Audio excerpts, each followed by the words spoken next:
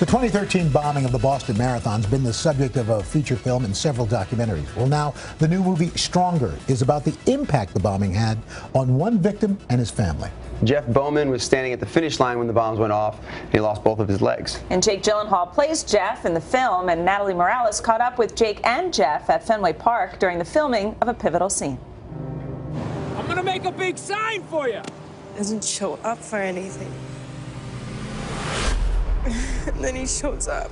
Stronger is the story of Jeff Bauman, who lost both his legs in the Boston Marathon bombing. There was an explosion, and your legs, they're gone, bro. In the days and weeks following the attack, Jeff began to heal as he was hailed a hero by the city of Boston. Look at this! Boston strong! This really is, it's not so much about the bombing, it is about how you pick up the pieces and how you carry on. Yes. I mean, not to say I'm not interested in the bombing, but I am not as interested in what that that is. The effects of it and how it brings people together through tragedy. And I know that's what Jeff wants.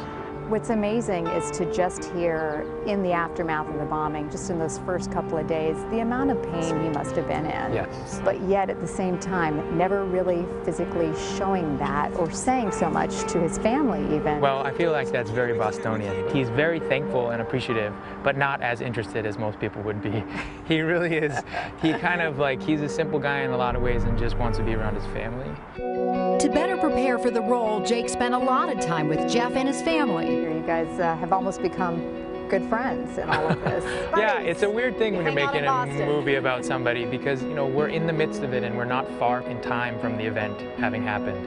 And so in that way, it, they're it's sort of new, they're Wait, did he wear a hat too? Did he wear a hat too? Um, okay. You're that connected That is already. weird. We mind melded. So tell me about the bond that you and Jeff have. Well, it's a complicated one in that I always feel odd, like even doing this interview and being in the middle of shooting and then playing him and then he's like, where are you? And he texted me and I'm like, I'm trying to not look like you for an interview. Helping you made me feel like I helped my son. And for that, I am grateful. You're grateful. Do you ever think there would be a day in your life that Jake Gyllenhaal would be playing? No, I, I was like, uh, I'm, I'm a huge fan of his, and I love all, most of his movies. um, besides Bubble Boy, no, I'm just kidding. I love Bubble Boy. So I joke around with him about that. Uh, he's a cool dude. He's a huge star, but he's Yeah. just a normal person and a nice, very, very genuine, nice person. Did you give him any sort of instruction on how to be you or Yeah, what absolutely. he needed to work That's- on? You know, I give him pointers on my hair all the time, and uh, just fun. Mess it up a little bit Yeah. more? During my set visit, Jake was preparing to shoot a scene where Jeff throws out the first pitch at the Red Sox game just one month after the attack. So I have a question. Who pitched better on the first, the pitch? You pitch better? Absolutely, without a doubt. Absolutely, without a doubt. He also has Did you give him some experience. He pointers? That was his experience. first. That was his first pitch. More experience. Have you been over to dinner and everything with the family? Yeah, Or? Uh, he's been to my house. Yeah. He bought me a. ho- I just did a renovation. He bought me a housewarming gift. I What did. was it?